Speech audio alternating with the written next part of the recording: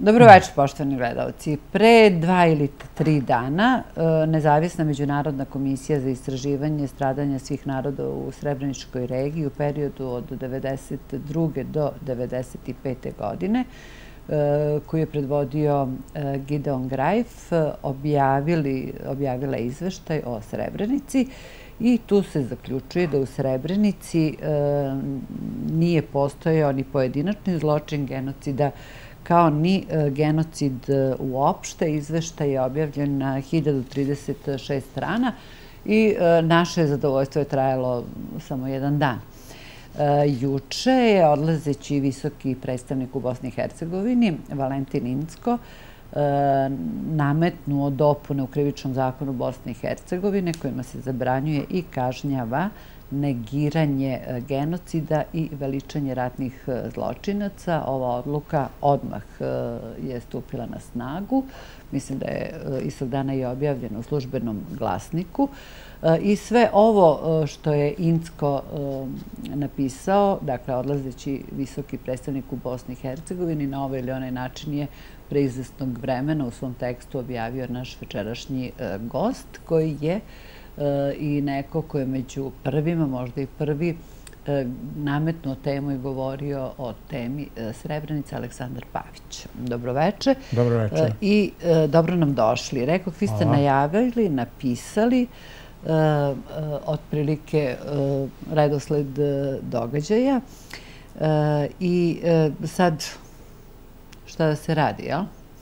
Desilo pa- se ono što ste vi predviđali. Kako komentarišete ovo? Pa prvo i prvo, ovaj, ja sam to napisao, treba to da se zna za sajt Sve o Srpskoj, da sam ja kolumnista. Mhm. To je neki na, to je sajt koji je vrlo blizak, ajde da kažemo, vladajućim strukturama u Republici Srpskoj u smislu da je pravimo često tribine gde recimo u posle, na poslednje tri, tri tribine učestvuje Milorad Dodik, ili lično ili putem video linka. -hmm. Znači, to je e, sajt koji je relevantan za Republiku Srpsku. Ja sam prvo pre dva meseca upozorio kad je se pojavila priča o non-paperima, -hmm. da se to ne pušta bez veze. Ako se nešto pušta preko zapadnih medija, ljudi treba da znaju prvo da su oni svi kontrolisani.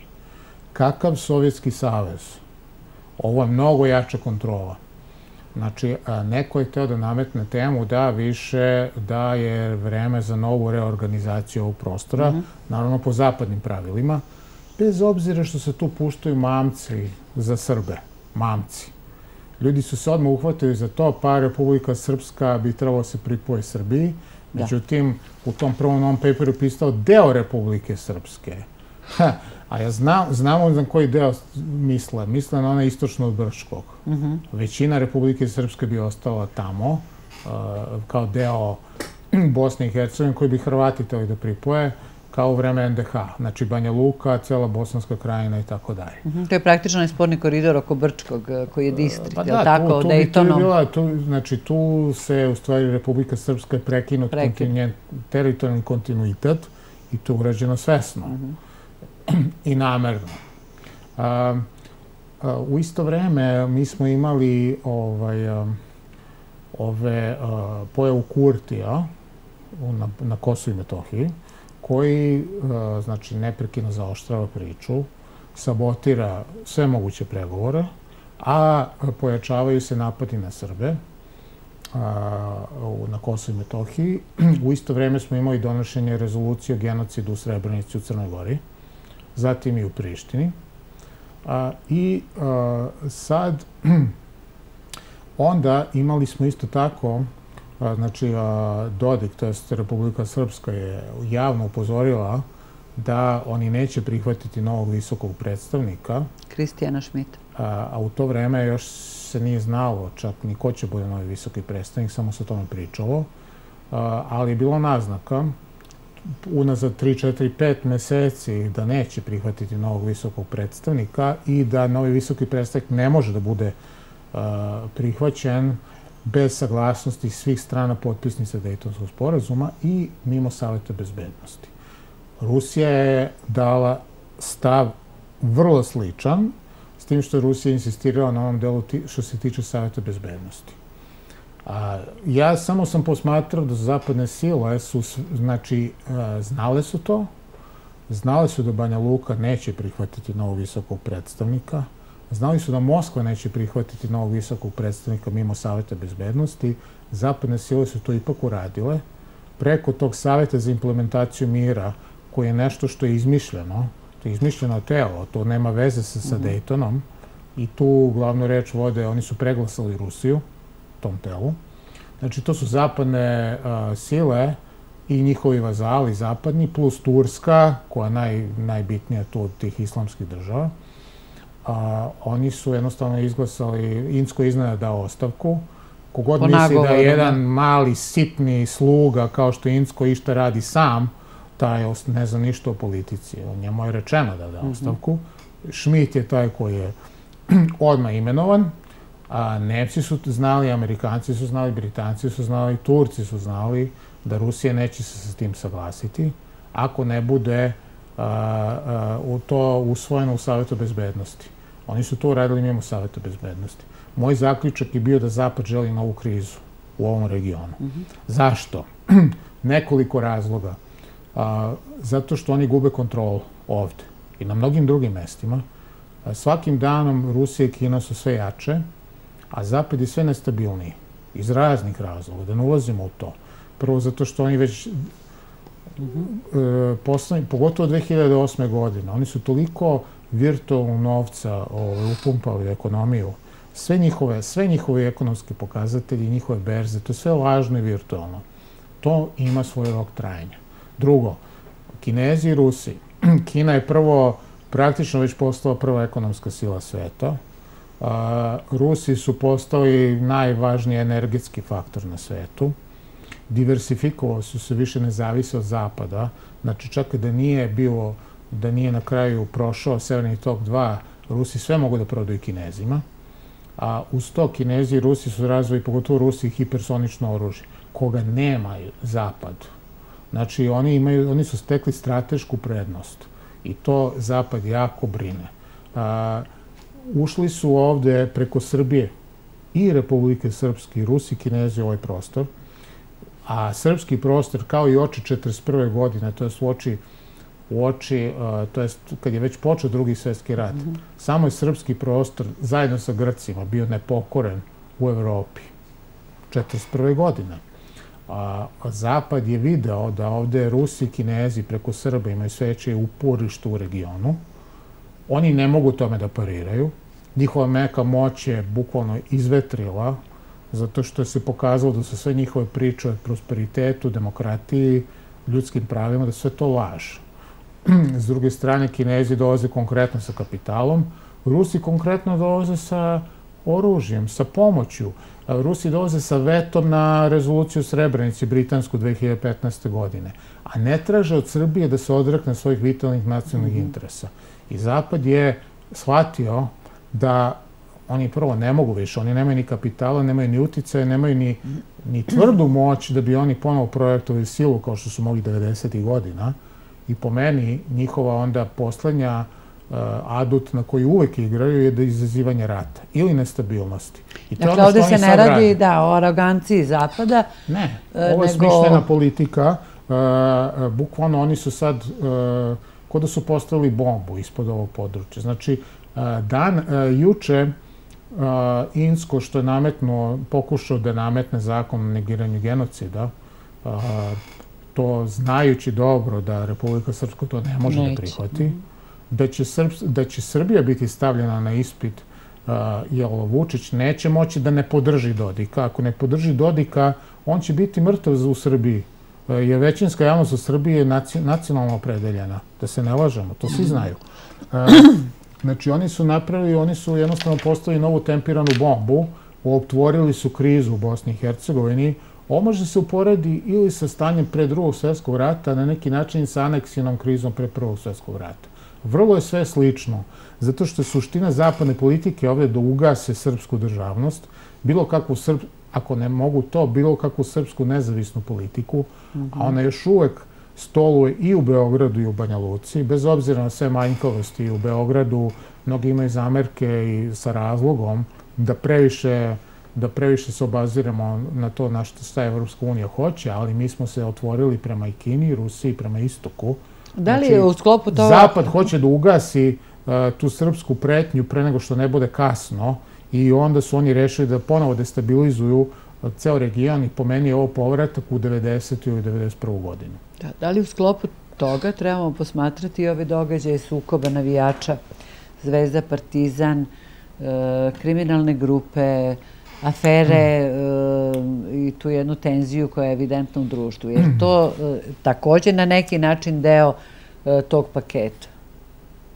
Ovako, ja nemam dovoljno informacije o tome koje su relacije na, na, na liniji a, mafija, Ali recimo, ja se izvinjavam, da. Ali mogu da napravim paralelu sa Zemunskim klanom mhm. u oči ubistva Đinđića 2003. godine, tako? Mhm. Znači, Zemunski klan, kao i ovaj klan od ove Vejne nevolje, mhm. znači, takvi klanovi koji se bave krupnim ono, narkobiznisom, oni to ne mogu da rade bez zapadnih obaveštenih službi. Nema šanse. Znači, e, šta god rade na teritoriji Srbije, da li ima saradnje sa domaćim službama ili ne, na nekom nivou sigurno ima. Da li to znanje ministara, nadležnih ili ne, u to neću da ulazim sad jer nemam dokaza za to. Da, nema dokaza, ali... uvoz, mhm. transport, to bez zapadnih službi ne može. Jer mi ovde ne raste ni opijumski mak, ovde niti gajimo koku, marihuane koliko se gaji, to nije ni približno dovoljno za domaće tržište. Znači, jednostavno, to bez zapadnih službi ne ide. Znači, kogod je u krupnom narkobiznisu, to ne radi bez zapadnih službi. Znači, ako oni nekog aktiviraju, kao što su aktivirali Zemunski klan, ja sam siguran da bar na nekom nivou aktiviran je ovaj klan Vene Nevolje. Tako da u tom smislu zapadni prsti, na prvom mestu britanski, a na drugom mestu američki, su sigurno upleteni, a tu nikad ne treba da isključimo ni Nemce.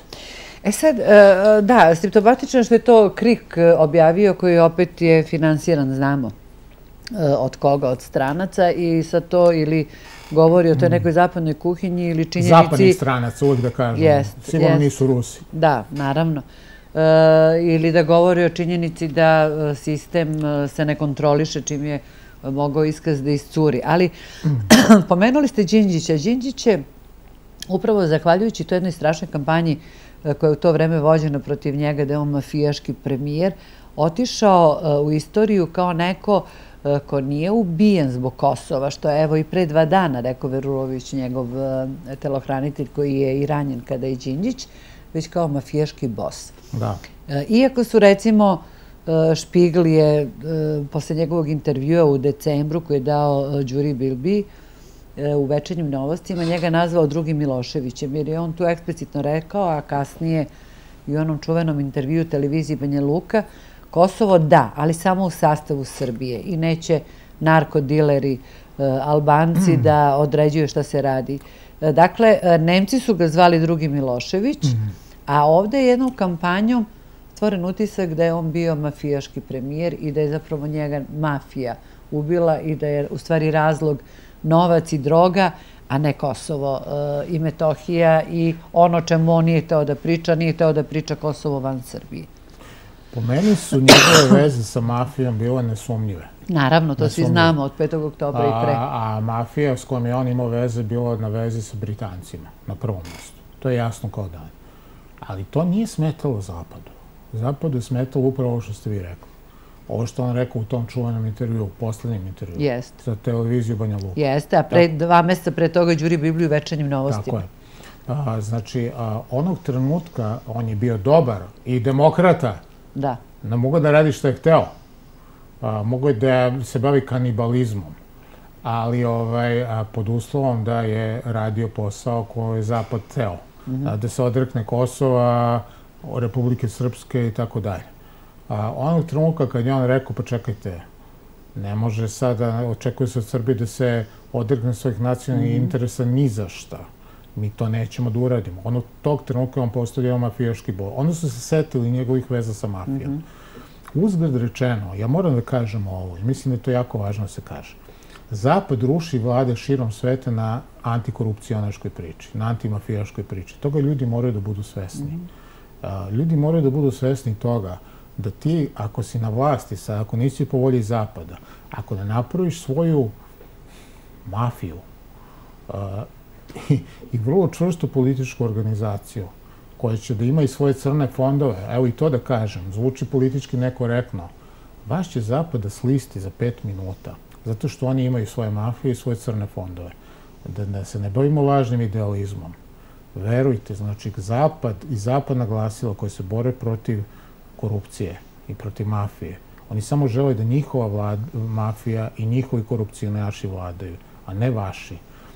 Vladanje s državom je vrlo zahtevan posao i zahteva puno tajnih dogovora, puno crnog novca, puno stvari o kojima javnost nikad neće znati. Ja ne pravdam nikoga, ja samo kažem kako ne. jeste. Znači, a, ako, vas neko, ako vas zapadne sredstvo ocrnjuje na toj osnovi, to znači da ste vi iskočili iz njihovog koloseka, -hmm. da vi se niste pod kontrolom. Kao isto ona priča, pa moraju bezbednostne službe budu reformisane. Mm -hmm. Oni što oni misle?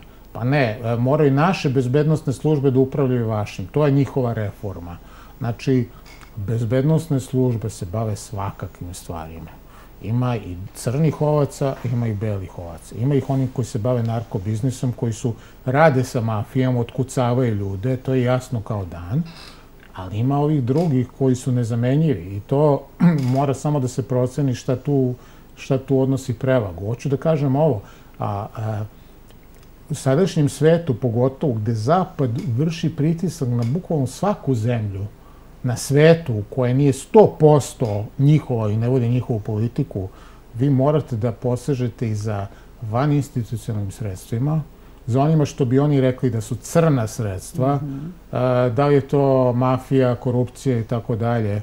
Znači, bez pravdanja toga, znači, ne znači da sad svako treba da ima vilu na dedinju, da je to zasluženo, da ima jahtu, to je nešto drugo, mm -hmm. ali da imate stvari koji su i čak i mimo budžeta, i mimo ovih legalnih tokova gde zapadne službe nemaju uvid ili gde a, Američka nacionalna agencija za bezbednost koja nadzire sve elektronske komunikacije na svetu gde ona nema uvid, mm -hmm. vi to ako nemate, oni će vas pojesti. Znači, samo da stavim stvari na mesto. Ne znači ako neko na vlasti ima veze i komunikaciju sa nekom mafijom, Ne mora da znači da je on sam mafijaš, može da bude, to se vrlo jasno može videti posle nekog vremena, a, ali ne mora da znači, morate da imate takve ljude koji su vaši. Znači, a, po meni, vi je trebalo a, to početkom 2000-ih da držite legiju vrlo, u, vrlo blizu sebi da ne bi bio nečiji drug, da ne bi bio tuđ, da ne bi postao -hmm. tuđ. Kakav je, takav je. On je bio, njega se plaše, plašili su se Amerikanci. Mm -hmm. Plašili su se njega i Arkana, plašili su da. se i crvenih beretki. Njima je bio cilj da eliminišu tu opasnost. Naši specijalci su bolji od njihovih. Bolji su i od, i od američkih i od britanskih. Crvene beretke kažu da su bile najobučenije, najspremnije mm u Evropi, e, ta specijalna jedinica, a postoji legenda kada se dešavalo u Bujanovcu da je Legija sa svojim momcima pokucao ovaj, na prozorče ovog tamo glavno komandujućeg e, i e, naravno svesto se radilo prvo da se oni kriminalizuju, nisu oni svi bili kriminalci, tu je bilo puno i Pa neka ljudi samo razmisle da. da li su Sasovci, svi i ovi zelene beretke i Delta e, odredi i tako dalje, šta su oni. Ali kao što su ukinuli prvo Prištinski korpus, da. dakle legendarni Prištinski, tako su ukinuli u nekoj fazi e, kad su procenili crvene beretke, sve ih kriminalizovali, jer je to bila najsposobnija jedinica koja je mogla da interveniše u svakom trenutku u, u slučaju bilo kakve opasnosti. Gledajte, Govorim, to je da... zahtevno, znači ja sam izriži protivnik onih koji, recimo, ako diluju drogu našem stanovništvu, on ne može, ne zanima me kakav je bio u ratu. Naravno. To je neprijatelj. Pogotovo ako rastora drogu deci. Znači, to je crvena linija. Znači, ako se baviš narkobiznisom, to, ti si u, najmanju ruku nemoralna. Da, ali govorimo o znači, crvenim beretkama, tu niko nije pronađen Nedilovo drogu. Naravno. Oni nemaju veze sa zemljskim klanom. E, o to ću da kažem, znači da napravimo neku razliku. Mhm. E sad, ako su crvene beretke naš, tražuje način da prežive u, u vrlo neprijateljskom okruženju posle 5. oktobra, to je nešto drugo. Daj Bože da su preživali. Kamo sreće da su preživali. A umesto toga, Legi je gurnut u zatvor. A gurnut je u zatvor zato što je opasno za Amerikanci i za Britance. To otvoreno da kažem. Mislim, ne mogu meni da prodaju priču američke diplomate i njihovi špijuni i njihovi lokalni mediji. Znamo kako stvari stoji, znamo koje ni grozote prave čine širom sveta. A, Legija, mislim da se ne hvatam sad za Legiju. slični ljudi ovde, mi smo se bavili našim srpskim stvarima. Šta će ovde Amerikanci i Britanci? Šta vi tražite ovde? I šta, ko ste vi uopšte komentarišete naše stvari? Znači, i vaša glasila koju vi finansirate, kao što je KRIK, Nova, N1 i ko još? Mislim, ima ih još, tu, tu su negde. Da. Ali hoće, ono, fakt, kako, fakt checker i tako dalje, ono, ne mogu se setim, nije važno. Ovaj, a, Znači, jednostavno, nemate prava da komentarišete i donosite sud o bilo čemu ovde kod nas jer znamo, mi koji to, time bavimo, znamo šta radite u svetu, znamo da koristite drogu da bi rušili režime širom sveta, znamo da ste rasturali drogu sobstvenom stanovništvu da bi finansirali kontra, recimo Nikaragu između ostalog. Znači, samo nemojte da nam prodajete ono priču o moralu i tako dalje. A hoću da kažem, svako ko je pod pritiskom, evo recimo Republika Srpska, Dodika non stop ruše po pitanju korupcije, Da, to se najbolje prima kod naroda. Ja mogu da potpišem ovo. Znači, e, kadrovska politika je jedna stvar. Po meni mhm. ona je dosta loša, ali dosta je loša u svim strankama kod da. nas. To je posebna priča. Da. A hoću da kažem ovo, da e, recimo vladajuća partija u Republici Srpskoj nije ustrana tako da ima vrlo strogu disciplinu i kontrolu, da ima izvore prihoda koji nisu podložni nekom stranom uticaju stranoj uceni, oni bi davno bili izbrisani i Republika Srpska verovatno više ne bi postala. Hoću da kažem, treba da pogledamo stvari onako kako im jesu i da ne, ne dopustimo najkorumpiranijim centrom moći na svetu da nam prodaju priču o moralu, korupciji, a, borbi protiv kriminala i mafije. Genocidu, da. da. Tako. Genocidu. Oni koji su počistili severnoamerički kontinent od domorodaca, strpali ostatak u, u, u rezervate, oni koji su činili takve grozote po Africi, širom sveta, gde god su mogli, oni nemaju prava da kažu ni reč, ni zapetu što se tiče da. genocida. E sad ta crna propaganda, ona služi za kontrolu uma i naravno da su ti ljudi u tim laboratorijima koji se bave psihološkim ratom eh, procenili da priča o korupciji eh, najlakše i najbolje prolazi kod naroda koji je proživao ratove i sankcije, koji je siromašan i činjenica je da postoji politička elita koja se krajnje neopravdano obogatila i kao što ste rekli, u ovom trenutku ne govorimo o političkim partijama, nego govorimo o državi. Da. E, dakle, i taj recept se pokazao e, za njih uspešan, po nas poguban, ali e, tu je bilo raznih mahinacija. Recimo sad dok pričamo, iako nisam uopšte planirala da otvorim ovu temu, setih se sahrane onog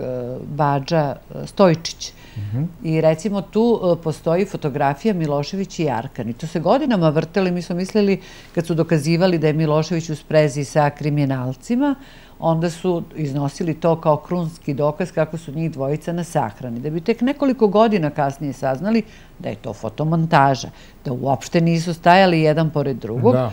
kao što je bila fotomontaža onih muslimana iz logora, pa smo, uh, koji su mršavi i tako dalje, pa smo shvatili nakon ne znam koliko godina da su Nemci... U stvari to je bila ovaj, ugao kamere. Znači, jeste. Znači, to čak ne bila ni montaža, nego to je bila jedna žica koja je bila uh, usred nekog polja, uopšte nije bio logor. Ali hoću da kažem da oni uh, mislim, svesno rade u demonizaciji je, tako određenih ličnosti. E sad, Um, sad se vraćam na, na ono što sam rekla u toj Inckovoj uh, besedi, jel? On kaže da je, uh, dakle, uh, zabranjuje se kažnjavanje negiranja genocida i veličanje ratnih zločinaca. Uh -huh. Mi smo, to smo često govorili, iz ovog rata 90. godina izašli bez jednog nacionalnog junaka, ja mislim da to nije slučajno. Od, e, mislim, e, ono što, kako da vam kažem, istorija nas uči, ono što je za nas junak, za njih je ratni zločinac. Tako je u slučaju Karadžorđa, čiju glavu traže Turci, i u slučaju Draže Mihajlovića i Hajduk Veljka, koga ubijaju do tih 90-ih. Mi smo izašli iz tih 90-ih bez jednog nacionalnog junaka. Dakle, prvo su ih medijski satanizovali od uh, Arkana koji je kriminalac, Lege, svih ovih koje smo pomenuli, uh, kapetan Dragan i tako dalje, to su sve kriminalci, mafijaši ubice, uh, do Mladića, Pavkovića, Lazarevića, koji su na nivou institucija okrivljeni, odnosno optuženi presuđeni kao ratni zločinci. Ja mislim da to, to nije slučajno i sad mi je Insko dokazao, jer ja godinama e, se pitan kako je moguće da mi nijednog nemamo nacionalnog junaka, da to možete da odete recimo na N1 i da kažete da je junak kapetan Dragana, da pritom nemate salbu kontradiktornih Ja ne želim da odem na N1. Da, ali recimo pod pretpostavkom, hipotetički što bi ovi rekli. E sad, e, to se očigledno svesno radilo. Zašto? S kojim nam, dublji smisao toga? A ovako, dobro, otvorili ste jednu temu koja meni dosta smeta, a još od kako sam se vratio iz Amerike. A, ja sam vrlo brzo shvatio da ovde je ogromna većina ljudi, ja mislim da je to pod uticajem tog života više decenijskog pod titoizmom, da su Srbi stalno trebali da bude nekako da sebe umanjuju, da bi drugi uveličali, da smo mi zarad mira u kući i bratstvo jedinstva lažnog, mhm. da, smo, da je ovde većina ljudi stekla neku vrstu helsinškog sindroma. Štokholmskog sindroma, izvinjavam se. u smislu identifikacije sa svojim ono, znači, zlostavljačima. Ovde se po meni previše polaže na sud neprijatelja. Anglo-američkog sveta, germanskog sveta na prvom mestu. Većinom ovog romanskog sveta, isto bar u Evropi. Znači mhm. zapad, zapadnjačkog sveta. kad vi kažete presude, pa ko nam je presudio? Je to neki božji sud? Ne, to je njihov sud. To je sud inkvizicije. To je sud, isti sud koji je Galileja, Galileja, Galileja ovaj, osudio zato što je mhm. rekao da se a, zemlja okreće oko sunca. Ali Galileo ipak rekao, ipak se okreće. Pa treba prođe preko 350 godina da bi Vatikan priznao da ga je lažno, da ga je pogrešno, ovaj, da mu je pogrešno presudio. Če kažem, inkvizicije, ovo je isto inkvizicija. Uh mhm. -huh. Oni nisu merodavni. Oni su merodavni onoliko koliko mi to priznajemo. A, kad mi govorimo pa oni su presudili, pa oni mhm. su rekli, meni to smeta zato što smatram da nama ne treba uopšte da bude merodavno. Ovde je stečena neka iluzija da ono što ne govore, da to ima neki prizvuk neke univerzalne pravde, univerzalnih vrednosti. To apsolutno nije tačno. To su narodi koji su naneli najviše zla ovom svetu, u istoriji verovatno. A, a, ono što su oni radili, gde god su stigli, u svom kolonializmu, neokolonializmu, to možda može se porediti sa Džingis Khanom. Ali ima jedna razlika i sa Atilom, ono, i sa Hunima. Mm -hmm. Ali ima jedna razlika. Atila i Džingis Khan nikad nisu govorili da oni to radi iz milosrđa i za tuđe dobro. Oni su radili to što su radili vrlo pošteno i otvoreno. Ovo još hoće da vas ubede da oni što rade, što vas porobljavaju, što vas ubijaju, što vas a, a, truju, da oni sve to rade za vaše dobro. To je to zlo. Znači, po meni, nijedan zapadni sud o nama ne treba da bude merodavan, ne treba da nam bude tema u smislu, osim u smislu da treba da ga odbacimo sa gnušenjem. Vi nemate prava da nam sudite ni da, nam, da nas ocenjujete po bilo kom osnovu. Meni jako smeta što ovdešnji političari to dozvoljavaju unazad već od 90. godina, I naravno to se onda prenalo i na medije, na institucije. Mhm. Znači, vi sami sebe stavljate u jedan položaj nekog e, kolonijalnog roblja. Od prilike šta gospodar kaže, pa to mora da je tako. Ne, nije tako. I, i mi nedovoljno, nedovoljno odlučno odbacujemo sve te njihove procene, ocene i tako dalje. Ja se nadam da će ovog puta biti jako čvrst odgovor na ovo Inskovo. Šta je Insko? On je potomak žene koja je bila član nacističke partije. Šta je on? On je nula. Nula. On je sluga. On će nama da nameće, on će nas da vraća u aneksijono doba 1908. godine, praktično, kad je Austro-Ugarska anektirala Bosnu i Hercegovinu. Pa ko je Insko da nama određuje stvari u Bosni i Hercegovini, koja je bila srpska predolaska Turaka? Ko je on? Niko i ništa. Znači, jednostavno, naš odgovor mora da bude jako odlučan. Ne samo u Banja Luci će bude odlučan, ali mnogo je važno kakav će bude u Beogradu. E pa to, uh, vidjet ćemo kakav će biti umeđu vremenu. Uh, mi smo lobotomirani sa medijima i to više nije aneksijona kriza i nema više ni Nušića, ni Nadežde Petrović, ni princa Đorđa, ni onih vatrenih mm. uh, govora. Pa ima, ima, ali ovaj, vrlo malo u medijima, u običnom narodu. Jer po meni je običan narod, imaju političari za zapravo običnom narodu što sve nije propalo do mhm. dan danas. Mhm. Ja mislim da bi političari do sad prodali Kosovo i pustili Republiku Srpsku niz vodu, da nije običnog naroda, da se ne plaše naroda i javnog mnjenja koje oni ispituju svakog dana. Od te ankete nećemo čitati u medijima. Narod je taj koji to ne dozvoljava. Kao što narod, ja uvijek se vraćam na to, kad je bila pobedna naroda, recimo, možda najočiglednije u poslednjih tri decenije, 93. godine, kad je Radovan Karadžić parafirao ovaj Vencovenov plan u Latini, ali ga nije potpisao, parafirao je, ali je rekao da mora da ide na referendum i tad je ceo svet bio protiv Srba i čak i Srbija, Milošević je pritiskao rukovodstvo na Palama da mhm. prihvati Vencovanov plan, koji bi dao Republici Srpskoj oko 42% teritorije koja ne bi bila teritorijalno povezana, znači neuporedivo lošija varijanta nego, da, nego Dayton. Karadžić se vratio i dao je Narodnoj skupštini da o tome rasprave. Narodna skupština je odbacila to, Republike Srpske, a narod je, milion Srba je protiv celog sveta glasalo, ja mislim da je bilo preko 97% protiv Vencovenovog plana. Znači, to je bilo, to je narod. I onda, naravno, rukovodstvo nije imalo izbora drugog, ako je bilo dvomljenja, nego da prihvati glas naroda. Milion Srba protiv, koliko je tad bilo možda, 5 milijardi ljudi u svetu. Da. A niko, niko nije bio spreman da se založi za Republiku Srpsku za nas. Izuzev pojedinaca među Grcima, Rusima i tako dalje, ali ne vlasti. A, znači, ako je milion Srba u Republici Srpskoj moglo da da kaže ne i da natera vlasti da to prihvate i da natera ceo zapad, unipolarni sve da to prihvati, hoću da kažem koliko je velika uloga naroda. Mi imamo da zapalimo narodu, ne političarima, što je još uvek držimo ovo što držimo sad. To je neverovatna pobeda. Vam kažem, ne treba pocenjivati ovu generaciju.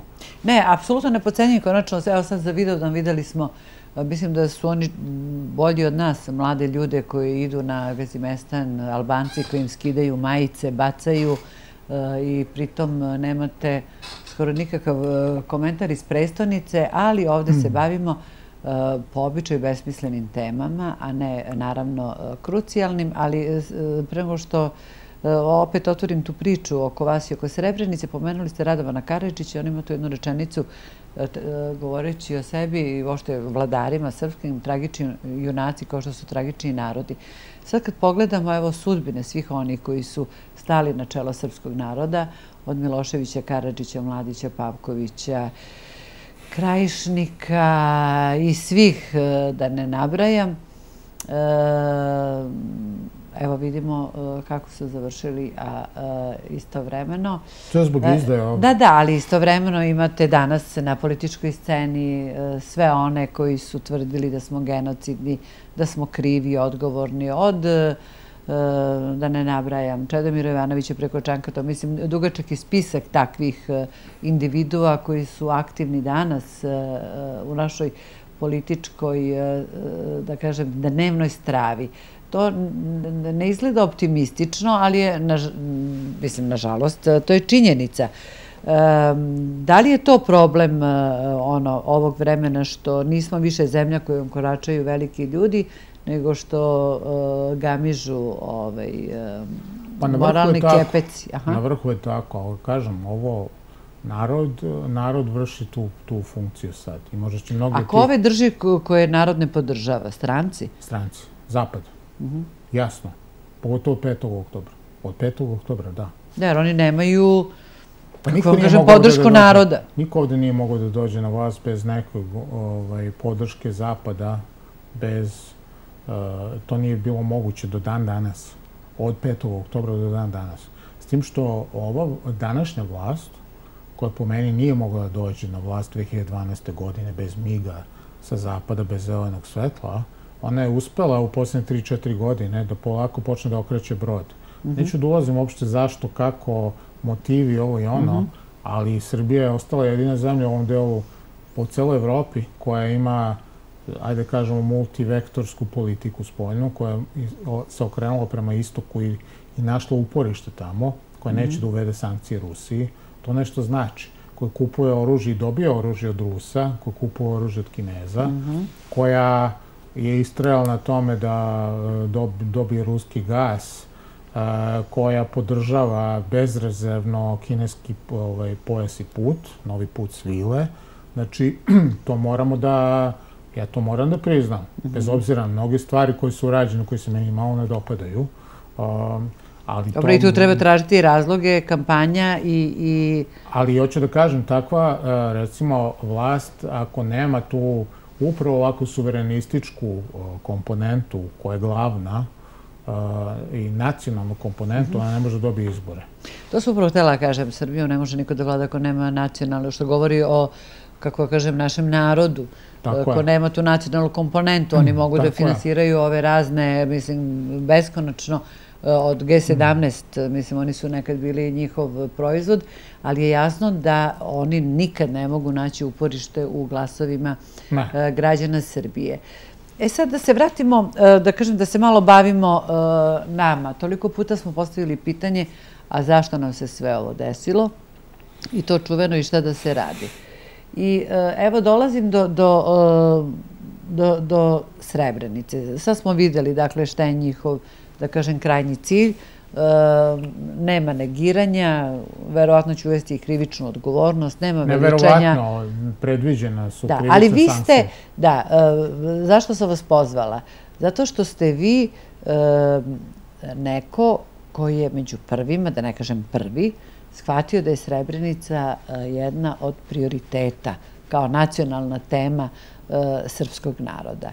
I ta vaša saznanja e, kreću već od 95. godine, pa bih vas zamolila e, evo da krenemo od toga, a kasnije će nastati knjiga Zabranjena istina o Srebrenici, jedno veoma dragoceno štivo gde se imate taj uvodnik gde kažete da zapravo nikom nije u interesu kao nama da dokažemo da tamo nije bilo genocida i tu su transkripti izjave samo stranaca i kad pročitate tu knjigu vama je zapravo sve jasno.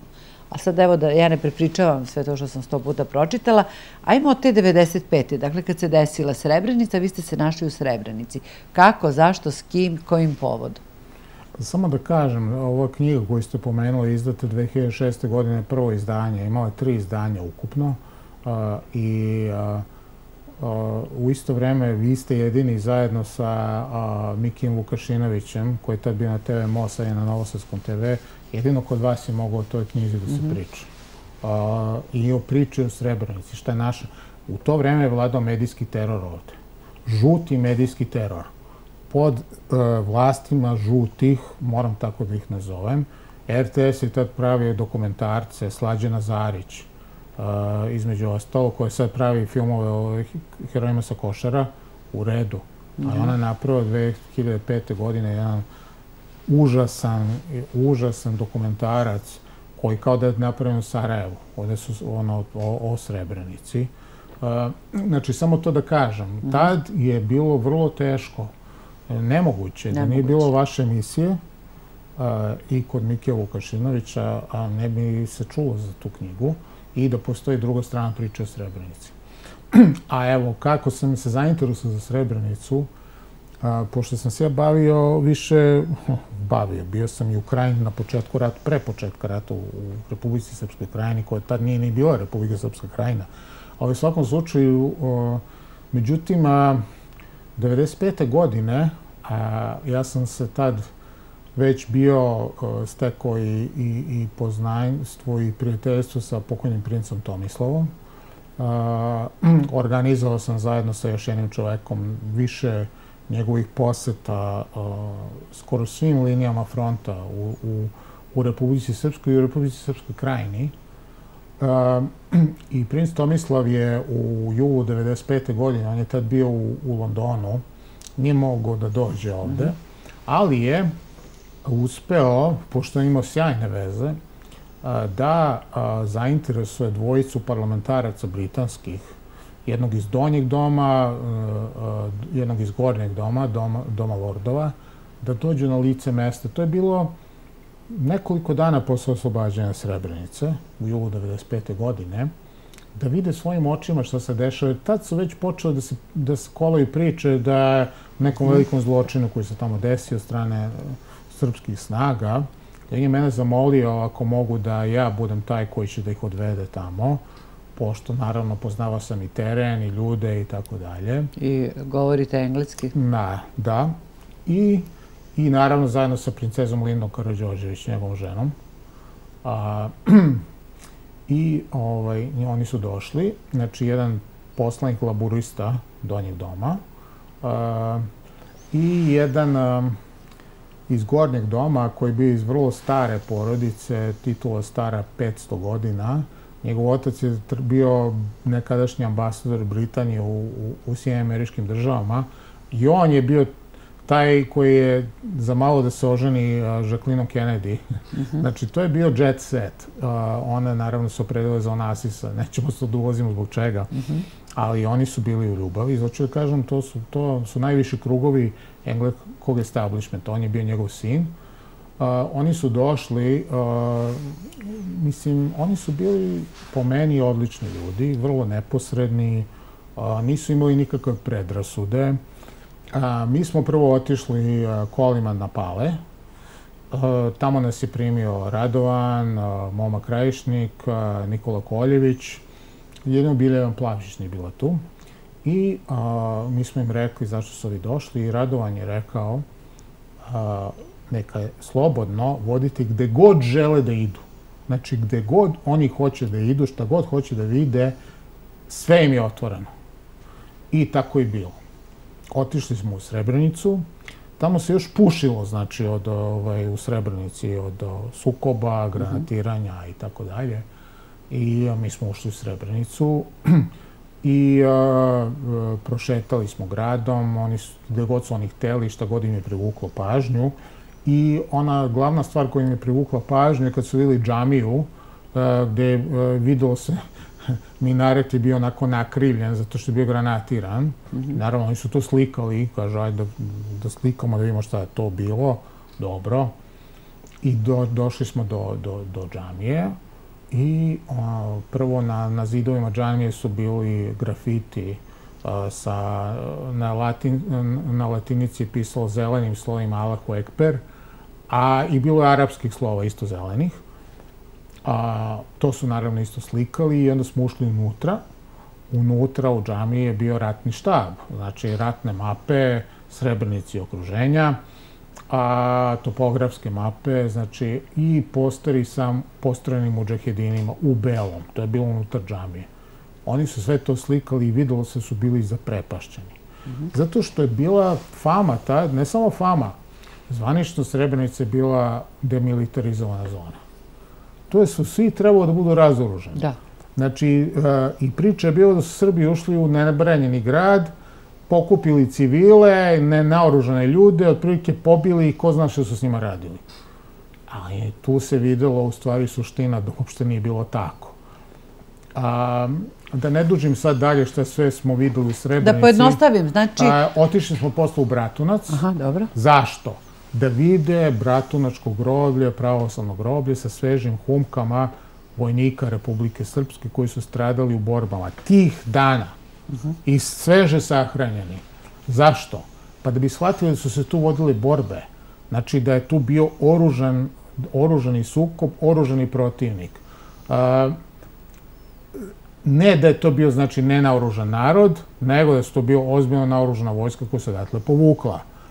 Sve su te podatke skupili, to su videli, videli su kad su sahranjeni ti, ti momci tu na Bratunačkom groblju i a, oni su posle dali izjave svojim a, medijima britanskim i te večeri smo otišli tamo na Jahorinu, trebalo tamo da noćimo i za vreme a, večere oni su dobili poziv obojica i otišli su, kad su se vratili, ovaj... Dakle, poziv? Lord iz, iz Londona. Uh mhm. -huh. I Lord je, ovaj, pošto smo sedeli zajedno, sprijateljili smo se već, ovaj, i ja, ja sam vidio da je čovjek prebledao, ja sam pitao šta je bilo. Ali rekao, zamisli, kaže, zvali su nas iz Londona i rekli su nam da više ne kažemo, da i držimo jezik za zubima, ne više ne kažemo ništa o onome što smo pričali, više na medije da ne damo nikakve izjave, što smo videli. Znači, ja sam tad shvatio da je neka igra u pitanju, neki spin u pitanju. Zašto oni ne mogu da kažu da, da je džamija u bila, bila ratni štab, ratna baza? Zašto ne mogu da kažu da su bile oružane borbe oko Srebrenice? Tad sam se ja zainteresovao za Srebrenicu. Nažalost, nisam bio dovoljno dugo u vlasti u Republici Srpskoj da bi mogao da dođem do bilo kakvih dokumenta. Znao sam samo jednu stvar, da ne treba nikog našeg izručiti Hagu. I dok sam ja bio tamo, niko nije bio izručen Hagu i time se ponosim kamo sreće da nismo imali, po znacima navoda, kooperativne političare koji su to radili. A, zato što, ovaj, evo što se desilo. Ili ste na Čavića, on je... Pa Čavić je došao kasnije, on je bio, to je bilo 2003. 2004. Zbog onog izveštaja da je nestalo 8000. Verujte, tad u to vreme, ovaj... Ja Ali, sam... izvinjam se, Paviću, samo evo jednu stvar za one koji nas nisu pasionirano pratili svih ovih godina. Dakle, Zaštićena zona Srebrenica je podrazumevala da niko nema oružje. Demilitarizaciju, jeste, razoružavanje. Jeste, niko nema oružje, sem uh, Holandjana koji su tu bili. U stvari, uh, tu je bilo nekoliko hiljada naoružanih uh, vojnika Nasera Orića koji Oko su... Oko 5000 minimum se povuklo pod punim oružjem iz Srebrenice 11. Dakle, oni odatle idu u srpska sela, ubiju, vrate se, niko ne sme da ih napadne. Od aprila 1993. godine kada je postignut taj sporazum i kada je usvojena rezolucija u maju 1993. pa do 1995. godine, um, pa u okolnim selima je stradalo um, par hiljada ljudi, Srba. Uz blagoslov Zapada, koji je to znao? Ne da je znao, nego ništa nije radio. Jedini koji se oglašavao na tu temu to je bio savjet, to je bio, su bio Ujedinjene nacije, to je Jasušija mhm. Kaši.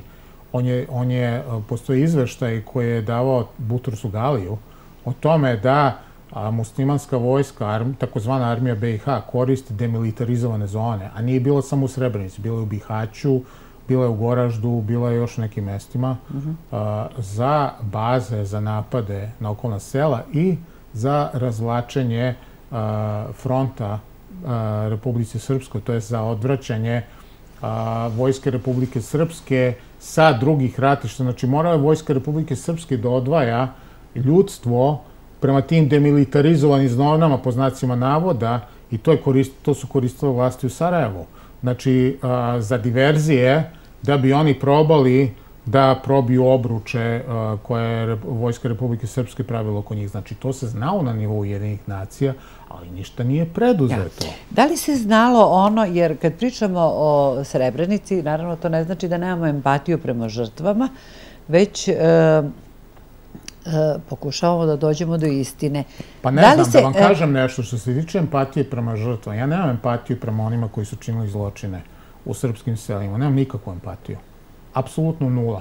A, koliko je tih koji su čak i streljani kao ratni zarobljenici, što bi trebalo da bude kažnjeno na prvom mestu zbog nas, zbog naše discipline i zbog mhm. toga što to ne treba da se radi, ali gledajte, to je ratno stanje. To sam za Meholjiće da vas pitam o kome se... Znači, nemam simpatije mhm. prema zločincima, čak i onima koji su pogodljeni na takav način, nikakve simpatije. Da, e, ne, empatiju, mislila sam da... Nije empatiju, ne. E, Meholjić e, i još nekoliko ljudi vrlo značajne.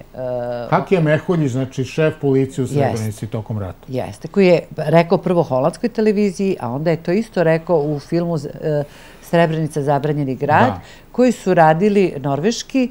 E, norveški reditelj Ole Fljum. Jeste, i radili su bošnjaci e, iz Srebrenice koji žive tamo... Zajedno sa muslimanskim novinama, Jeste, koji žele da saznaju istinu. Dakle, šta tu Meholjić kaže i zašto je to nešto o čemu se ne govori? Izvinite, ja samo neću da ih zovem bošnjacima. Zato što mislim da je to politička priča da bi se ispao da su oni autoktoni u Bosni, a svi drugi došljaci ja ih neću zvati bošnjacima, nikad ih nisam zvao bošnjacima i neću. To su muslimani. Dobro. Neko oni vide šta će s tim. Znači, ovako, Hakija Meholjić je tu ispričao pred kamerama. On je, nažalost, umro. Da, nedavno. Nedavno. Mislim da je ove godine umro. Da. Hakija, svaka mu čast, mislim, zato što je rekao istinu posla. On se bori u njihovim redovima, to nema šta. Da. Ali rekao je, ispričao je priču kako je 1993. godine, kako je, uh, kako su ovaj, um, čelnici uh, iz muslimanske Srebrenice, kako su helikopterom odvezeni u Sarajevo, na, kod Ali Izebegovića, da im je Alije tad rekao, slušajte, postoji, Clinton mi je rekao da ako četnici upadnu u, u, u Srebrenicu i strada 5000 ljudi, da će biti NATO intervencije. I šta vi mislite o tome? Postoji priča da se Srebrenica zameni za, za ovaj, o, sam mi stao mozak. Da, e, nije visoko, nego taj neki deo... E, jedan deo oko Sarajeva. Da. I oni su to sa gnušanjem odbili, ali on je to čuo da li je tada. Da, praktično žrtovani bi da budu. Da, da, da, da. Oni su rekli, ako, ako, Haki je samo rekao, ali i tad, ako se nas zvali zbog toga, gospodine predsjedniče, bolje da nas niste zvali. Mi prvo nemamo ovlašćenje za tako nešto, da mi, a, da mi a, pravimo takvu vrstu ovaj, trampe praktično, a jednostavno sa gnušanjem su to odbili. A hoću da kažem, to je to rekao u kameru. U kameru i rekao je da je loš čovek, da je hteo da, je žrtve. Da, tako je, tako je. I nije jedini. Posle to rekao Ibram Mustavić je govori da Alija glavni krivac i tako dalje. To vas pitam zbog onog početka vaše e, priče kad kažete da Balkan e, ide, mislim da će Zapad izazvati nemire, ako požare, mislim da ste tu reč upotrebili, požar ako bude želeo, a vi izazovete požar tako što zlupotrebite jedne i druge na određen način. U ovom slučaju, e, taj Naser Orić, on je otišao za Sarajevo helikopterom. E, Negde u aprilu 95. On je napustio, dakle, radi se o projektu, radi se o planu, sve su znali. Da, on je bio tu u julu 95, da. Kada je srpska vojska upala.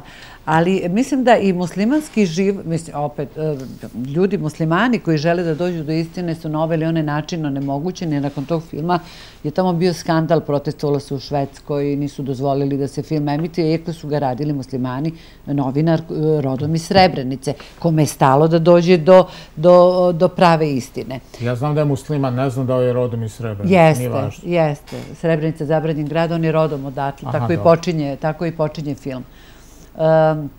Prosto to im je onemogućeno. E sad, e, da je to svetski pin, mislim sad je spin svima je e, naravno jasno i to je insistiranje na, na genocidu i tako dalje. Međutim, vi nakon e, te 95. pišete tu knjigu koju ja vrlo često... Deset godina kasnije, da, zabranjena istina o Srebrenici, priručnik zasnovan isključivo na zapadnim izvorima. Zašto sam tu radio? Pa upravo zbog ovog dokumentarca RTS-a sramnog 2005. godine, desetogodišnjica Srebrenice, gde je mhm. praktično dana muslimanska, ali i na verzija događaja o novcu poljskih obveznika, preplatnika e, Republike Srbije. Me je toliko udarilo krv u glavu. Ja sam rekao, ovo više ne može da se trpi. I srećom, srećom, ja ne znam šta bi napisao, nešto bi drugo napisao, međutim, 2005. godine se skupila jedna grupa ljudi, uglavnom zapadnih intelektualaca, na čelu sa Edvardom Hermanom. Tu ih je bilo još nekoliko, znači desetak ih je bilo. Tu je bio onaj, on je bio jedini srpskog porekla, George Bogdanić, mhm. režiser američki srpskog porekla. Pa je bio Jonathan Rupert, bivši novinar BBC-a, pa Tim Fenton, isto britanac, pa Phil Hammond, ovaj, pre, predavač, kasnije profesor na jednom londonskom univerzitetu. U saradnju ovoga Filipa Korvina, koji je bio najviši Amerikanac, koji je bio najviši civilni zvaničnik Ujedinjenih nacija na terenu u julu 1995. godine, Carlos Martins Branco, portugalski general, koji je bio, uh -huh. mislim, zamenik šefa posmatračke misije UN, civilne misije UN u, u BiH, a, oni su jednostavno rešili da oni sami, znači... O svom trošku, što bi se rekli. O svom trošku i vremenu kažu u Srebrenici, ovo je ono što se stvarno desilo u Srebrenici, 2005. godine oni su napravili sajt Srebrenička grupa za istraživanje Srebrenici ili Srebrenička istraživačka grupa, kako god, Srebrenica Research Group, tako se zvao izvorno. Napravili su i sajt. to je bila fenomenalna analiza. A da, Michael Mandel, ovaj, profesor međunarodnog prava iz Kanade, s kanadskog univerziteta, između ostalih, fenomenalnu analizu su napravili. Od toga, od igre brojki, mhm. kako se manipuliše brojima, oni koji su stvarno stradali u Srebrenici, koliko je stradalo u borbama, mnogo više nego što je bilo streljano kao ratni zarobljenici.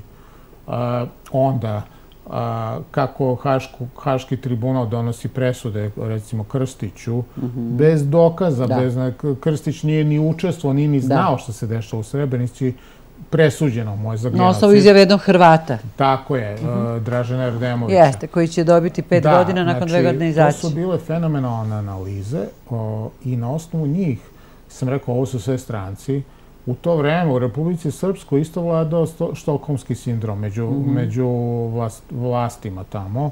Oni su bili većinom ili uplašeni za svoje pozicije, su bili potpuno prozapadni niko nije smao da. A šta to govori, Pavić? Izvijem se što sam prekinula. Mm. Bilo bi prirodno da su svi ti ljudi, e, recimo, proglašeni nekim počastim građanima ili da ih je neko pozvao ovde. Šta to znači da vlast koja je vladala zapravo nije vladala u interesu srpskog mm. naroda? Je li to to znači? Pa oni su dopustili sebi, ja na prvom mjestu SDS.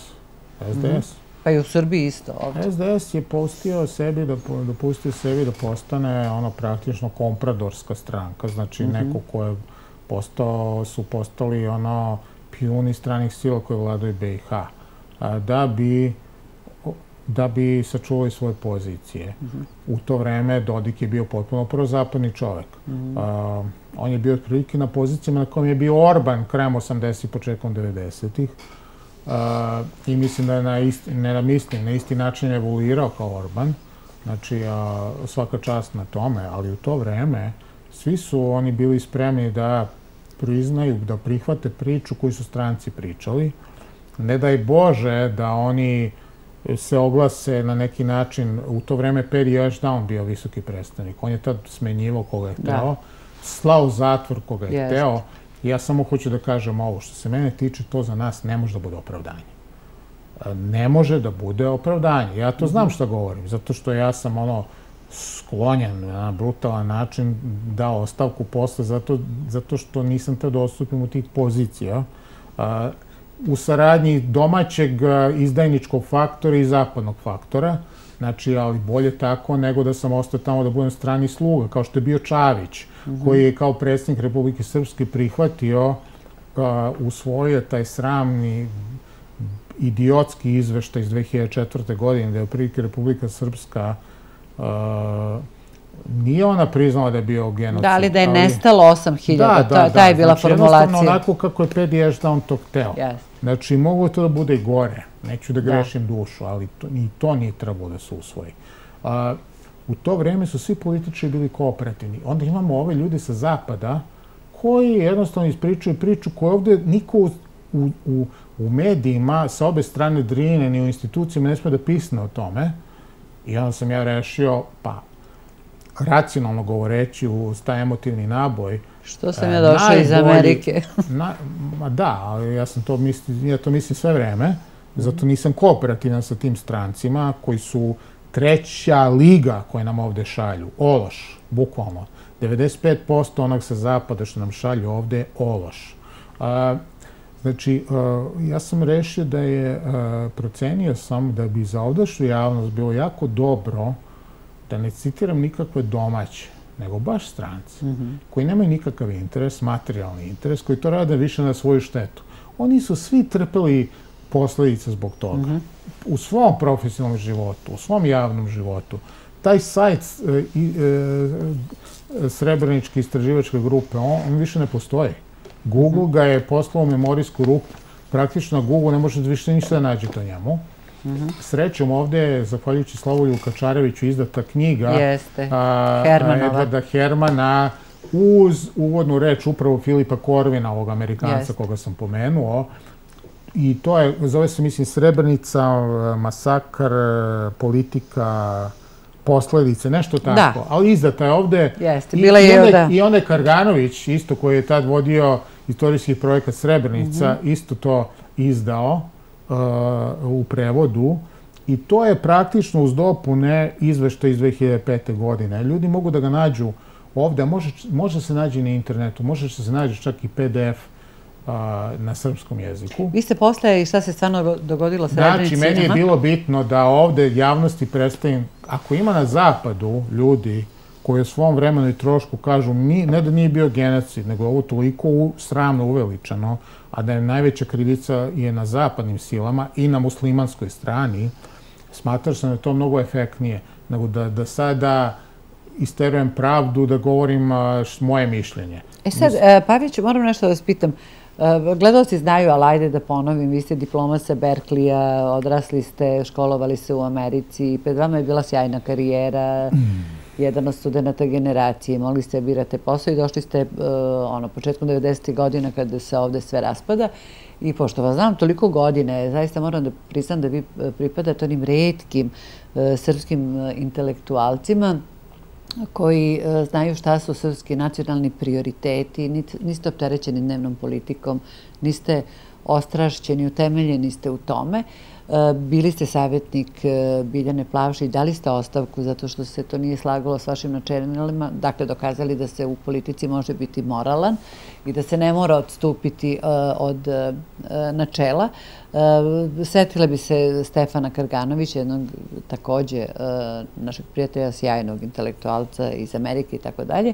Ali sve te godine dok vi živite ovde i dok se vi bavite Srebrenicom, kulturni milje je recimo u Srbiji takav da ovi koji danas dobijaju nagrade su pravili e, filmove o srebreničkim žrtvama, da. majke i tako dalje. Svi su avansovali u svojim karijerama, svi su napravili velike uspehe, iako sve što su radili u svom tom pasioniranom antisrpskom zanatu, radili su po interesu stranaca, da kažem nalogu, i protiv e, interesa srpskog naroda. E sad kad vratimo film, dakle mi smo imali državu, imali smo milje koji radi protiv interesa sobstvenog naroda. S tim u vezi, kratko pa završavam, Major Binel, e, to je čovek koji je otkrio te položaje NATO bombardovanja i tako dalje, E, zbog toga je uhapšen, oduzet mu je čin majora, bio je u zatvoru. Posle izlaska iz zatvora napisao je knjigu Zločini NATO pakta i došao je u Srbiju, verovatno očekivao da će ovde biti sačekan kao heroj.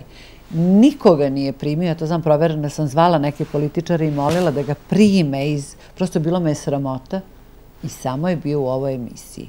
Bio, otišao u Kosovsku Mitrovicu, vratio se, nikad više nije došao. E, dakle, kako ste vi, hoću da kažem, kako ste vi izdržali e, sve te godine posmatrajući i gledajući državu u kojoj živite i šta ste, ovaj, e, mislim, to vas nije poremetilo u vašem radu nacionalnom koji traje u kontinuitetu dve i nešto više decenije? Pa gledajte ovako, prvo, ono čega sam se ja lišio u Americi, to meni niko ne može da nadoknadi nekakvim sitnim dilovima, pa čak ni krupnim dilovima. A, i znam zašto sam se ovde vratio. Znači, mene, mene zanima Srbija, ona od Nemanjića i pre Nemanjića do danas. I ja kad vidim nekog da prodaje Srbiju, a ja sam vidio 5. oktobra su instalirani ljudi koji prodaju Srbiju na parče, a, koji će pričati nacionalno kad, da bi dobili izbore, a onda će okrenuti čurak. Uh mhm. -huh. a, kako ja mogu s, tim, e, s njima? A ne radi se ni da ja hoću ili ne. Neće oni u, u, u, u rasejanju postoji mnogo Srba koji su mnogo, jako kvalifikovani. Ali u, u, u rasejanju vi steknete, vi steknete jednu sliku o tome koliko je Srbija važna. Ja sam samo počeo da zamišljam o tome šta bi značilo za Srbe u raseljenju da nema Srbije? Pa mi bi bili gori od, od, od jevreji sad imaju Izrael. Oni 2000 godina nisu imali ništa. Um, cigani nemaju svoju državu, uh, ili Romi, kako ih neki zovu. Kurdi nemaju svoju državu. Kako biste se vi osjećali da nemate tu Srbiju, kakva god da je?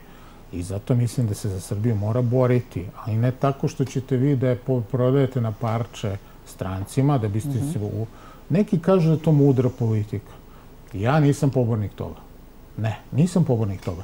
Ja smatram da ako ste dovoljno čvrsti, da vam niko ne može ništa, a, a vi ako pravite takve vrste kompromisa, to nama ide samo na štetu. Ajde neka neko kaže koji smo mi korist imali od toga što smo prihvatili tu zapadnu priču nama, ovih 20 godina, od, mm -hmm. od 5. oktobra. Koji korist smo imali? A, neki kažu ekonomsku korist.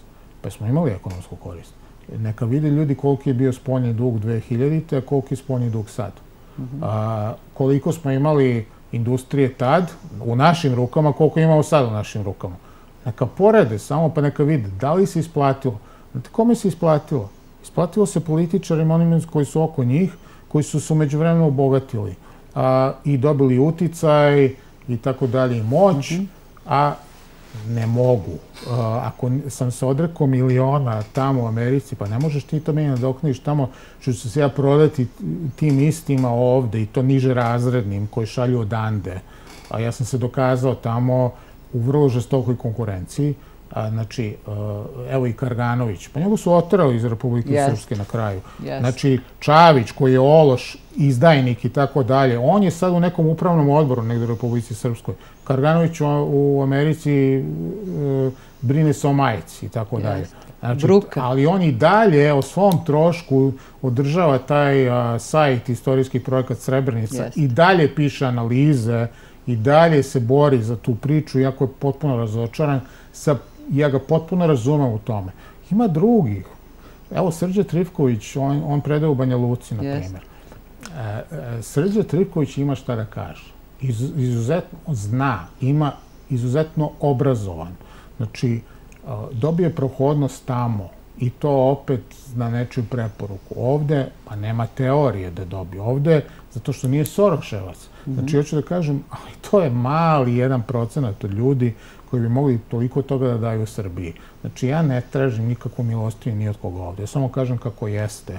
Ne može da se očekuje ljudi ovde koji imaju lažne diplome, koji su napravili fakultete da bi mogli da, štant, da, da se štancuju diplome mm -hmm. za mhm. njihove kadrove, nego ja njih da očekujem da oni mene dočekaju otvorenih ruku s nekim koji ima pravu diplomu. A, znači, on, ja sam za njih konkurencija, ne samo ja, nego ljudi slični, imaju hiljade, desetine hiljada Srba, kao što sam ja, koji nisu upotrebljeni, a, ali sad nam dolazi a, voljom zapadnih stranaca novo vreme, novo mešanje karata, Ja se nadam da će ovog puta biti prostora za to, ali opet, e, niti ja, niti ovi drugi će da mole za to, ali u određenom trenutku, verujte, ako smatramo da neko vodi Srbiju neku propast ili neku izdaju, nećemo sedeti skrštenih ruku, neću, neću tražiti milostinju ni od koga, niti neki sitni položaj i tako dalje. Jer ovo je naša zemlja. Znači, ne možeš ti samo zato što si poteku iz duboke države jugoslovenske udbe, da imaš, koja je bila 50 mhm. godina antisrpska, da ti imaš veću, veće pravo na Srbiju nego ja, nego potomci oni koji su se stvarno borili za Srbiju, pa nisu mogli ovde da nađu prostor, jer ste se vi dogovarali sa strancima na račun sobstvenog naroda. Ću da kažem, nadam se da će ovog puta biti prostora za tako nešto. Nije iskoristio Milošević tu priliku kada je mogao 90. godine. Da. Dijaspora je zloupotrebljena 90. godina. Ja se nadam da se to neko, tako nešto neće ponoviti, ali ako neko proba da ponovi tako nešto ovog puta i loše će se završiti, a, možda i za sve nas, trudit ću se i ja i drugi da tako ne bude, ali kad dođe pitanje opstanka, a stvarno će da nas pritisnu opet, stvarno, ako se ovog puta ne bude volje i svesti da treba da govorimo jednim glasom, svi koji smo za Srbiju i da svako bude iskorišćen koji ima nešto da ponudi, a, neće biti dobro. Na Srbi na okup. E sad, e, opet da ostanemo u temi Srebrenice. Važna mi je ta e, hronologija, mm. zato što su te godine e, kad je to bila, da kažem, zabranjena i prećutana uopšte tema na ovaj način kako mi sad govorimo, posle te vaše knjige, da, tačno je, kod. Vukašinovića na nekim tribinama ovde se moglo govoriti i to je ono kao neki bio mali plamičak neke svetlosti. Pokušavali smo ljudima da objasnimo dublji smisao čitave te e, priče i mogu reći da se u tome poprilično i uspelo. Onda dolazi 2010. usvajanje e, deklaracije o počinjenim zločinima, tu se ne kaže genocid, vi ćete objasniti nam šta se piše, koji je usvojio Srpski parlament. Vi ste tad protestovali, bila je stotinak ljudi, Oko 200 ljudi. 200. E, ajmo sad da se vrati. Dakle, kako vi doživljavate, zašto je to e, tadašnja vlast Tadićeva uradila? Da li je to priznavanje genocida na mala vrata? Kako vi to razumete? I šta se desilo sa vama koji ste protestovali, jer ste vi i ovu e, knjigu šta se stvarno dogodilo u Srebrenici podelili svim e, ovim poslanicima, njih 250, tako da su apsolutno svi bili informisani.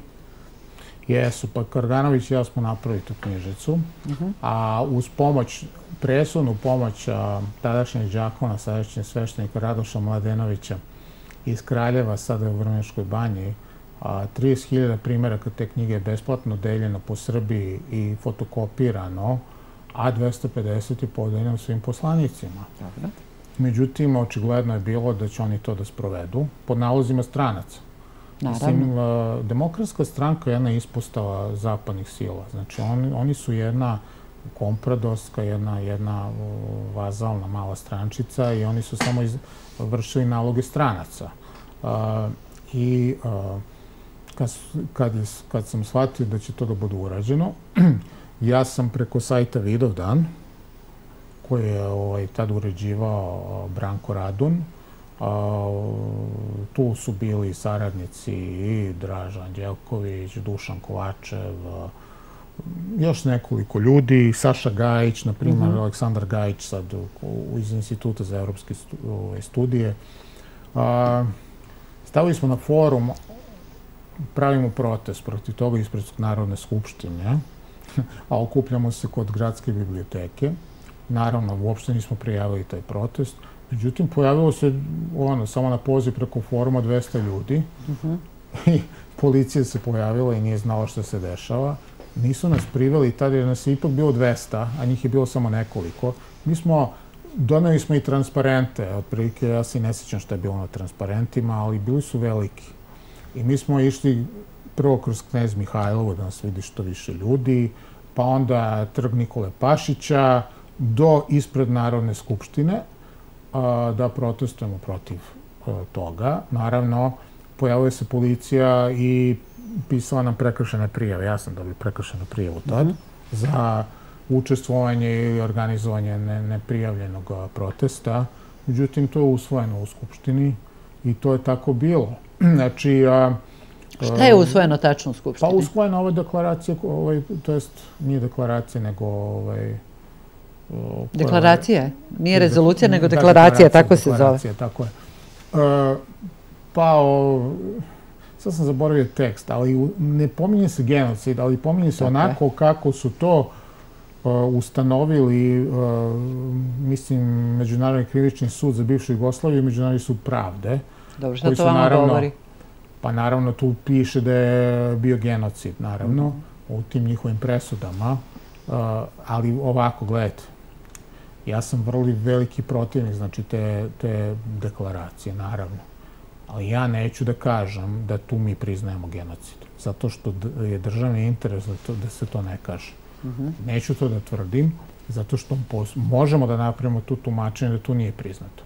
Jednostavno, da mi samo priznajemo da su oni uh, uh, da su oni uh, nekom svojom procedurom došli do takvog zaključka moje mišljenje dan danas, to je bila katastrofalna deklaracija, mhm. ali nismo priznali genocid. To je moj stav. Dobro. A, ovaj, čak i godinu dana ranije i Crnogorska skupština isto donala sličnu. Ona se pozivala tad na rezoluciju Evropskog parlamenta, gde piše da je to bio genocid, mhm. ali na sličan način. Isto nisu pominjali genocid. Naravno, to je sve pod pritiskom strana. Ali sad, evo, prošlo je znači 12 godina, sad je Crnogorska skupština donala drugu, mnogo žešću, gde se govori o genocidu, mhm. Pa je onda u Prištini su ovi separatisti donali isto, isto tu rezoluciju o Srebrenici, o genocidu u Srebrenici, i sad imamo zabranu uh, negiranja genocida koji donove ovaj sitni ovaj, uh, sluga mm -hmm. uh, zapada Insko. Znači, uh, vidi se tad, od tad do danas, znači ispada da je zapadni pritisak veći Sad da. ne možeš da kažeš više samo su bili zločini, pa kao ukolo naokolo e, pozivaš se na presudu, ne pomeneš genocid. Ne, moraš da pomeneš genocid, ne smiješ više da ga negiraš. To bukvalno znači, posle 12 godina ekstremne kooperativnosti prema zapadu, ti si došao do toga da su oni sad još žešći prema tebi nego što, nego što su bili. bili tad. A tad je još bio manje više unipolarni svet. Rusija je tek počela da se diže posle onog čuvenog Putinovog govora na Mihinskoj da, bezbednostnoj da. konferenciji 2007. godine, a to nije ono što je sad. Znači, evo, dok smo Ali to pokazuje onu vašu teoriju da anglosaksonci i zapad nikad ne odustaju nikad zacrtanih ciljeva. I svaka dakle, im čast na tome. Da, dakle, naša politička elita, jer to je ono kuvanje e, žabe. Dakle, oni su procenili u, u tom trenutku tu klimu, atmosferu i nisu insistirali na genocidu, ali su naterali našu vlast da se izjasni o zločinima i tu je Srebrenica e, apostrofirana posebno u odnosu na sve e, zločine. E sad, svi mi znamo da postoji javna i tajna e, i diplomatija i politika da. i da vlast naravno ne može da donosi neke turbulentne odluke tipa sada povuče tu deklaraciju zbog, da kažem, potresa u, u odnosima sa međunarodnom zajednicom, ali tadašnja, recimo, vlast Mislite mogle... Mislite sa Zapadom? Da, da, sa Zapadom, da, da. Ja mislim da gledalci znaju kad kažem. Inače, ovo kažem Rusija. Uh, ove, ali, uh, uh, dakle, tadašnja vlast nije htela da radi tajno Dakle, e, da omogući ljudima koji misle drugačiji, ne znam, tribine, televizijske emisije, ne. Ne, neki institut, e, da sad pomenuli... Dok sadašnja vlast to dopušta. Da, pa to. To mora da se kaže Jest. isto. Znači, ovaj, ove godine, oko, oko 11. jula i pre njega, TV Happy, TV Pink su bili otvoreni za našu priču o Srebrenicu. Mm -hmm. Mislim, evo, to za vreme vlasti žutih i socijalista. Ne, neću da zaboravim socijalistima, to nikad a, nije moglo to. Nije moglo. Znači, socijalisti su sad bili na toj stanovištu, sad su na ovom drugom, ali zato što oni nemaju, ne vode glavnu reč. Znači, pa dobro, da, razumemo. Ali hoću da kažem, da. sadašnja vlast je dopustila, otvorila je medije za ovu našu priču, to je jako dobro. Nadam se da to neće se završiti samo na tome. Da, Zapadov jedini, e, da kažem, prioritet posle 5. oktobra je da se uništi partija Slobodana Miloševića, vi znate koliko sam ja slava na njega, i to njima nije uspelo i oni... Pa dobro. Da, oni i danas pokušavaju... Jeste, e, Da, pokušavaju da partiju koju on osnovo jednostavno eliminišu sa političke scene, a nisu uspeli gotovo i demokrati su nestale i sve partije su nestale, što ipak govori o nekoj, e, da kažem, konstitutivnosti i državnosti, kako god to ljudi razumeli. E, dakle, došli smo do tog nekog srpskog stanovišta, da sad malo stvari posmatramo ovaj, e, e, i sa srpskog stanovišta i da u tom smislu je moguće otvoreno, jasno govoriti, da kažem, afirmisati tu, kako kažu, kultura sećanja. Međutim, sva ova priča večeras koju ja pokušavam da artikulišem, ostalo na malo vremena, bi mogla da se svede pod jedno šta može jedan čovek da uradi. To sam vam i rekla kad smo se čuli telefonom. Mislim da ste vi primer E, šta jedan čovek van institucija, e, bez podrške velikog brata političkih partija, tajnih društvava, e, ono, niste ni, ni u trilaterali, niste ni u Rotary klubu, pa ne, to je sad najbolja pre, da, ali to je preporuka za, da uđete negde. Preporuka. Ove, ovaj, da. šta sve možete da uradite, ne za sebe, nego za, za, svoj, za svoj narod I voljela bih kada bi e, takvih ljudi bilo više i kada bi to postao, da kažem, neki princip života e, srpskog intelektualca. Međutim, primećujem da srpski intelektualac ne čita Karl Schmidta i da vrlo često ne razluči šta je važno, a šta nije važno. Da se bavimo bespredmetnim i besmislenim raspravama koje je gore, a koje je dole i ko će ovaj... Da li će ovaj što je dole jednog dana biti gore? Šta je po vama danas naš prioritet? Prioritet e, srpskog naroda, srpskog korpusa. Dakle, koje su to ono kao nacionalni prioriteti Srba? Šta biste vi napisali na prva tri mesta? Pa samo da kažem da ja sebe ne smatram intelektualcem. Mislim da to, ovaj, ja nisam. Oponirate mi čitavo oduše, nisam tim epitetom uopšte. Mislim da su, ovaj, ja više volim ovaj, anglo, anglo-američki, ja sam mnogo naučio tamo. Da. Ja volim to kad se kaže da je ovaj, a, Engleska imperija nastala na, na, sportskim, a, na sportskim terenima Itona Ja sam se isto bavio aktivno sportom i to grubim sportovima i hokejem na ledu i ovaj, da ne ulazim sad u to, ali hoću da kažem, meni je žao što mi nije data, ja, ja sam obrazovan, obrazovan jesam, ali ovaj, mislim da je intelektualac, da je, da je to stvar koja je ovde precenjena. Mhm. Ja, ja mnogo više volim kako anglo-amerikanci gledaju na intelektualce. Mhm kad, ono, tu, ti si tu da kažeš informacije i tako dalje. Ne možeš ti da glumiš, niti si ti savez čovečanstva, niti si ti nešto mnogo veliko. I oni ih više gledaju kao neke ekcentrike, otprilike blage, ovaj, odlično, da obrazuju decu i tako dalje. Međutim, to je otišlo dođe ovo tamo. Ne pričamo o tome, nije to sad bitno. Uh mhm. -huh. A, ima drugih. A, kapetan Dragan je, recimo, isto primjer. -huh. Čovjek koji zna mnogo toga. A, koji je jedno vreme bio od velike koristi, a zatim je bačen u zapećak i na kraju nije imao čega da živi praktično. Zato se vratio u Australiju, ono se desilo što mu se desilo. Um, znači, ima drugih ljudi koji su pokušali. John Bosnić je pokušao. Da. Pokušavao. Da. Uh, naravno, ništa od svega toga. Karganovića sam pomenuo. Uh, Višeslav Simić, na primjer, još jedan, još jedan primjer. Ma ima ih, ima ih koji su pokušavali za koje se i ne zna da ne sad ne pominjem imena koje ljudi ne znaju. Šta je važno sad? Važno je na prvom mestu da mi shvatimo da su oko nas neprijatelji. Znači, moraš da, da, da znaš kako da prepoznaš neprijatelja. Pustimo se tih jugoslovenskih iluzija. Znači, a, mimo Republike Srpske i Srbije, i oni koji nisu aktivni Montenegrini Ustaše u Crnoj Gori, mi okolo i Grka. Po meni Grci nama su prijatelji. Ja se nadam da se neće desiti da nam Zapad zatruje odnose, tako što će naterati grčku elitu, većinom korumpiranu, da, to da, od ovog da prizna takozvano Kosovo. Da, da.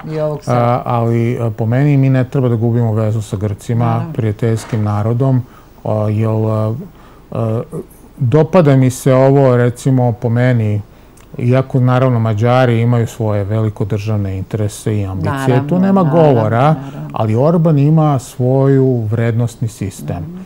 Ja bih volao da se ugledamo više zvanično na Orbana u smislu da kažemo šta su naše vrednosti. Nema LGBT propagande deci, kraj priča, nema gej parada, kraj priče. Nema tih izvitoperenosti sa zapada, kraj priče. Nema primanja, primanja migranata, kraj priče. Znači, po meni moramo da znamo šta su nam vrednosti, da se toga držimo, da se oko toga zbijemo. Imaćemo, imaćemo tu saveznika u Orbanu sigurno. Imaćemo saveznika kod Rusa. Imaćemo mm. saveznika kod onih pravoslavnih Grka koji nisu potpali pod ovaj pogubni utice Carigradske patrijaršije. Ali čak i tu, čak i oni koji jesu, ima, i među njima ima oni koji se drže ovih vrednosti. Znači, moramo da znamo šta su naše vrednosti. I Česi, Poljaci, Da je Republika Srpska neprikosnovena, da nema govora ni o kako ni priznanju Kosova, ni podeli Kosova na bilo kojoj osnovi, da Crna Gora je tradicionalno istorijski srpska zemlja, znači to u svesti od toga ne smemo da odustanemo, da se naoružamo što više ruskim oružjem i kineskim što je moguće, i da znamo koji su, ko su nam prijatelji i ko nisu. Zapad jedino takav jezik razume. A to je kao šmit. To je u, stvari najvažnije. Da različiš ko su ti prijatelji ako ne prijatelji. Oni, će, oni vas više poštuju ako, ako vi njima kažete otvoreno šta jesu. Znači, nije to da mi je stalo njihovo poštovanje, ali recimo ja poštujem to kod njih što ste vi rekli, da oni nikad ne odustaju. Ja to izuzetno poštujem. Svaka čast. Ti se boriš za svoju stvar i to govoriš javno. Meni se čak dopada, čak, dopada mi se to što su Amerikanci vrlo otvoreni kad govore. Recimo, Rusi imaju da zakukulje, da zamumulje. Recimo, meni to smeta. Oni su uh, jedna od dve vodeće nuklearne sila na svetu. Po meni su sad i jači od Amerikanaca. Oni su sve u nekoj defanzivi. Mhm. Amerikanci su i dalje u ofanzivi i otvoreno govore šta su im interesi i šta nisu. Znači, i to, ja bih volao da mi da budemo takvi i da budu načisto drugi. A to je ono što piše u Svetom pismu. šta kaže gospod? Ako je vrelo progutaj, ako je hladno progutaj, ako je mlako izbljuj. U stvari, to govori da i to i dobro i zlo ima neki svoj vredanosni sistem, da je najgore biti... Bolje da budete vrući i hladni nego da budete mlaki, jer ćete biti izbljuvani, tako je. A naša politika je previše mlaka, mlaka, Bilo je pomaka ovo o kome smo pričali, to ne ponavljam. I zašto smo odustali ako Orban, pardon, ako, evo, završavamo, e, javljaju nam, te da kažem, za Erdogana koji agituje za nezavisno Kosovo, zašto smo mi odustali od agitovanja, e, od nepriznavanja, ali recimo će to biti tema. E, Aleksandra, ja vam se zahvaljujem. Zahvaljujem što ste bili naš gost. Nadam se da su naši gledalci razumeli. Hvala i vama što ste pustili, što ste, ovaj, kao što ste dopustili, dali prostor za govore o pravoj priči o Srebrenici još 2006. godine, pa i o priči o protiv čipova na ličnim kartama, pa do danas. Mnogo smo mi toga zajedno izvojevali. Da. Hvala vam, bio je Aleksandar e, Pavić, poštovani gledalci, ako nas niste gledali od početka, znate naše termine, termine reprizne, to je nedelja 18 časova, ponedeljak 7.30 i utorak 13 časova i naravno odmah nakon ove emisije možete nas pratiti na našem YouTube kanalu pod uslovom da tu opstanemo. Hvala vam.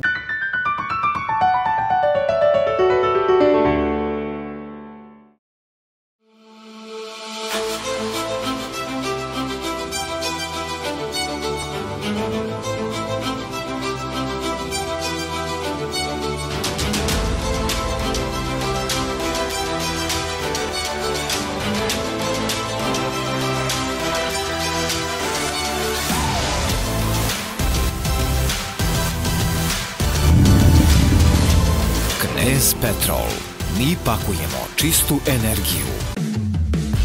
Uz vino rađaju se ljubav. Nastaju najlepše note. Vina koja zrače. Snagom. Lepotom.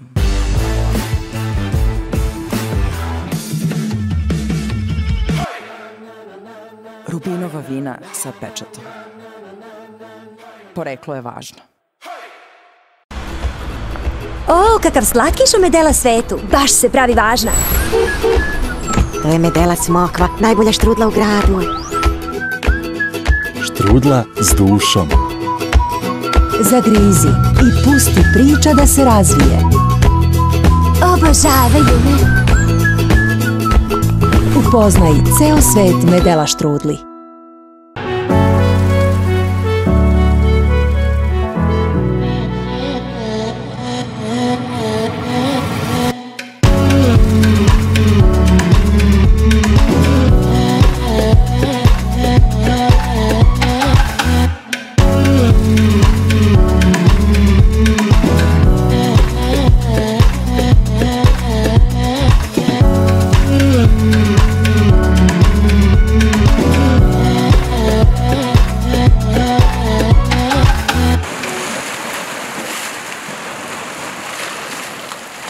Kažete akupunktura, to je povezano sa iglom i sa ubodom igle. Za nju možemo da kažemo da je prirodna, da je zdrava, naučno potvrđena medicina, dolazi do proizvodnja sobstvenih lekova koje proizvodi naše telo. Za svaku bolest e, kombinacija akupunkturnih tačaka je različita. Sa iglama postižemo apsolutno ravnotežu duha i tela, jer zdravi smo samo onda kada su yin yang u ravnoteži. Salon Sanja pruža usluge pedikira, manikira, nadogradnje noktiju, depilacije, tretmana lica, tela, masaže.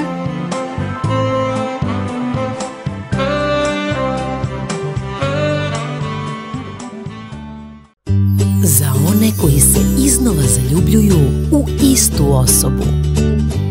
Za one koji biraju postojanost. Za one koji se raduju proleću. I za one koji znaju da sreća uvek miriše na bohor. Ko kuva najviše? Svih nas. Moramo da seckamo na sitno stvari, jer mladi uvek imaju nešto preče. Koristiš li majovitu? Zato što... Zato što je ukus različit. Jednostavno, fenomenalan. Kad moraš brzo da pripremiš hranu i da budeš sigurna da je mnogo bogatiji ukus. Ubedljivo najbolji, premaz. Kuvat ćemo zajedno. Baš. Sva bi jela majovitu htela. Naravno. Nema druge. Uz vino rađaju se ljubav.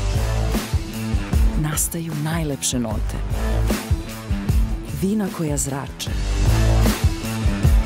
Snagom. Lepotom.